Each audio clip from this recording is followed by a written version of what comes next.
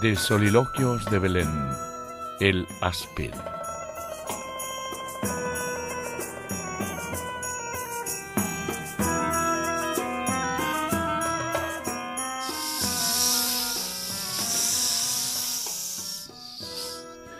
El áspid se aproximó al establo, atraído por la suave temperatura que percibió desde lejos. La noche estaba fría y se formaba un poco de escarcha en hondonadas y charcas donde las ranas no croaban. Todo estaba en enigmático silencio. Ni una rata para apaciguar el hambre de esa víbora nerviosa, poco amiga de toda cosa caliente que se moviese.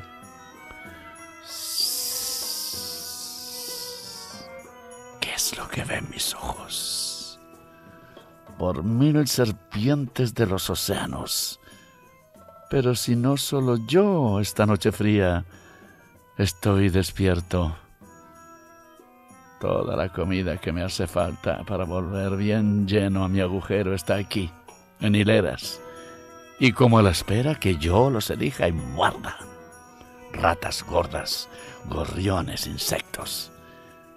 Cosa más extraña. Están estáticos como cuando yo los hipnotizo para tragarlos completos. ¿Será que me ha llegado la competencia? No la aceptaré. Este sector es mi lugar donde hallar alimento y no haya muchos pájaros, pues los humanos los matan para comerlos ellos, ni roedores, pues los persiguen para que no roben sus graneros. Humanos. Son una calamidad. A nosotros nos odian.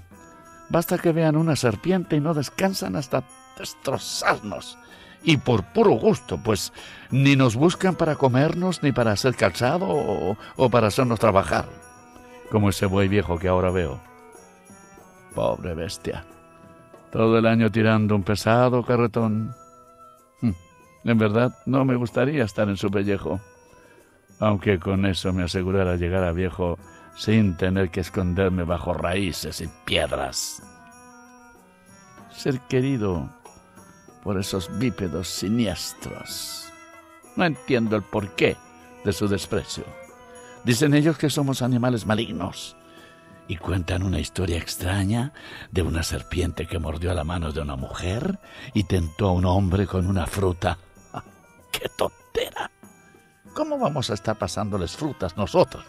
Las serpientes, a los humanos, si lo que menos queremos es involucrarnos con ellos. Además, he sabido que hace poco la reina de Egipto usó un áspid para ella misma acabar con su vida. Ah, donde éramos admirados, ahora somos rechazados a un paso de ser perseguidos. Es el sentimiento de los humanos. Un día te quieren, al otro te desean muerto. Por eso, voy a comerme a ese ratón gordo que está justo debajo de la pesebrera y me escabulliré a casa a seguir con mi siesta. Silenciosa la víbora negra se arrastró bajo la canoa de heno, pero un pie le aprisionó con fuerza y decisión la cabeza. Con su ojo relampagueante, vio la cara de una mujer dulce como la tierra entera. Por un segundo se entendieron. Criatura letal y agresiva, resto de una evolución de especies magníficas, parte del proyecto y su aspecto más apegado al suelo. Ella, mujer que representaba a la humanidad entera. La presión aumentó a la vez que la mirada subió en calor, abrazando con quemante amor al frío reptil. Y lo soltó, de súbito, para sorpresa del áspid, que ya se preparaba a morir.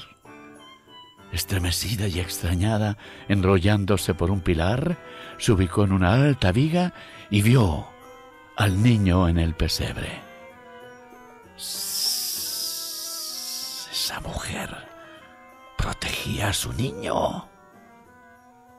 Y qué hermoso es. Un calor bueno envolvió al reptil. No habría más mal en el estar a la altura del suelo. Estaban conciliadas serpientes y humanidad.